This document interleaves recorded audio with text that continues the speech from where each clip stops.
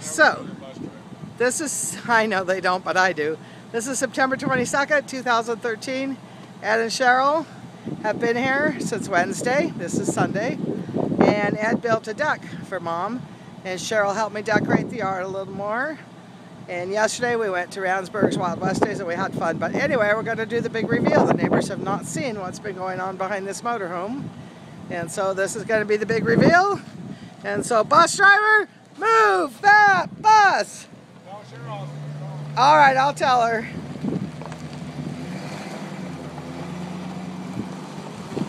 There goes Ed. So here is the yard with new flowers, and the pots rearranged, and some new art. And there's Cheryl, and Mom, Grandma Joe, JoMama, walked down that ramp by herself and sat outside. And she absolutely loves it. So let's get some close-ups. The snapdragons were just transplanted, so they're wilty, but they'll come up. And then here's our cactus nursery. These are ones that are having problems that I'm working with. And then here's some more stuff. Here's one of my favorite agaves. Little barrel one. And here's some more snapdragons. Again, they just got transplanted. They'll look, they'll fill this pot in a week. Here's a variegated agave. Another name for agave, a century plant. Here's a, my biggest one, blue agave, out of which tequila is made. And we got a beautiful, beautiful butterfly and flower in here. Somewhere, right there. And here's a baby blue agave. And here's my very favorite one of all. Again, it's in the agave family. But it's just beautiful. Just beautiful, beautiful, beautiful. And then there's another yellow variegated. This is an actual Joshua tree with a pretty, pretty flower in it. And then along the wall we got mums. Mums to the right of me, mums to the left of me. Here I am, stuck in the middle again.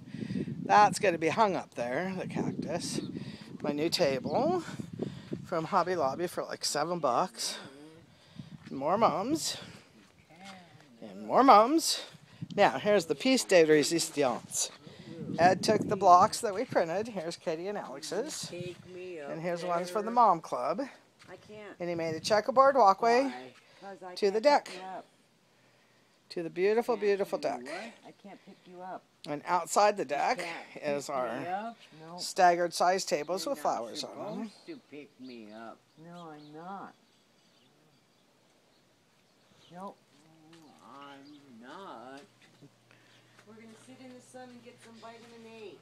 We're D. gonna sit in the sun and get some vitamin A. Oh no, the, the flower, the birdhouse just fell.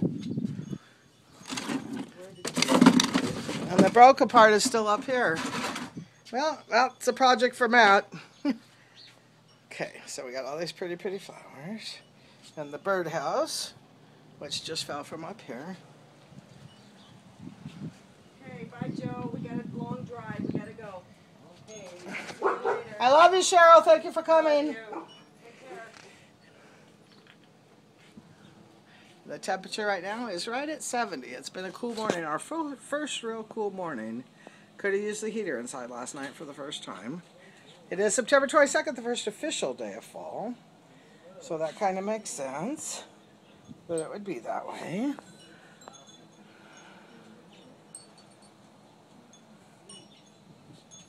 There's the lizards from Moab. The wine bottle from Kernville. The birdhouse that Julie made. This is the thermometer from Katie's school cell. Everything has sentimental meaning. There's the flat spoon that Gracie and Elias and me found. No, it's just Gracie and me, that's right. Found this flat spoon. All right! Bird crossing. More wind chimes. Uh, another birdhouse. This is a bird feeding station. They bathe here and eat in the red bucket. And this is the window that JoMama looks out, so she gets to see the birds. Here's our water garden. Those are lily pads. And they will get flowers, and those are cattails, and they'll grow up and cover the window, and it'll be beautiful. And there is little mosquito fish in there, and they do a really good job. Now, here's the other side of the deck. Steps, so we don't have to go down the whole ramp to get to the back part of the yard. Now, this is a piece of, it was like a fake wall that they built at Home Depot so that on do-it-herself night, us women could learn how to do tiling like this. And I did 90% of this because the other women sat back like wallflowers and I can't be a wallflower. So, uh, so that's one side of it. It's a mirror thing. And there's a little thing I made and there she has three sisters who might join her out here. But the best part, the very best part of the whole deck, and again I want you to see the construction. He made it where no wild animals could get in. See where it meets the concrete air can get in, the wood can expand and contract, but nothing bigger than a little field mouse can get in there. He made a beautiful handrail where the grandkids can't fall through, kids that are shorter than the handrail. But the piece de resistance, the deck is nice and wide so we can bring the wheelchair out and pivot it. We put Cheryl in the wheelchair, and because she weighs about the same as Grandma, and pushed it up and down and up and down so I could figure out the best way to do it. But Grandma's first trip down it was in the walker, and I didn't think she would walk down a slope deck. But she did, and she's sitting out in the sun enjoying herself.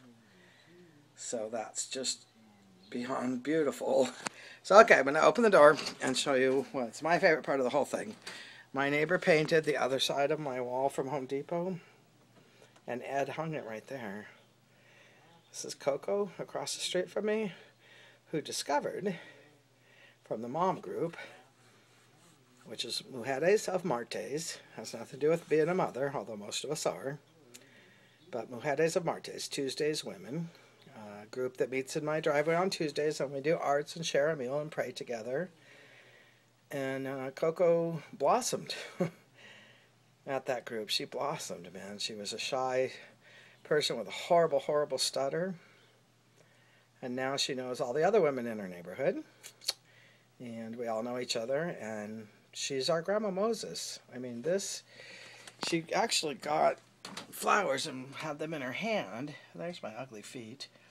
Had them in her hand while she painted these. This is the inside of a Joshua pod and the seeds. And there's a little dead Joshua flowers. She actually brought them over. And there's the Joshua tree. And then this is oleander. And the sky is so pretty. See that? She's our Grandma Moses. It's so pretty. I'm so proud of it. So it is just built in. Something I, I did at Home Depot and I never knew what to do with the piece and it just worked on the it worked on the porch. I had a different idea of setting it on top. And then Ed said, let's do uh, Cheryl said, well no, put it on the bottom. And then Ed mounted it this way and it really couldn't be more perfect. And the whole thing is just so crazy, crazy beautiful. And the three, four days, the four days we had together was so nice.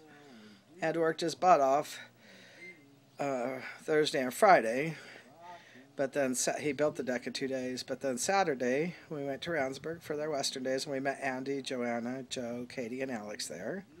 Then we went to their house for dinner, carne asada, tacos, and it's Sunday morning. It's getting noonish, and they they just left. So what a beautiful, beautiful, beautiful week it's been, or weekend, or whatever. I love to have company here, and we could be so proud of the yard. We being me and Ed and Cheryl and Mom, all the people involved. Ah, it's the ashtray. If people do want to smoke, I guess they can, but I'd rather not have an ashtray. But I'll live. Okay, that's the grand tour. It took a little long, nine minutes, sorry.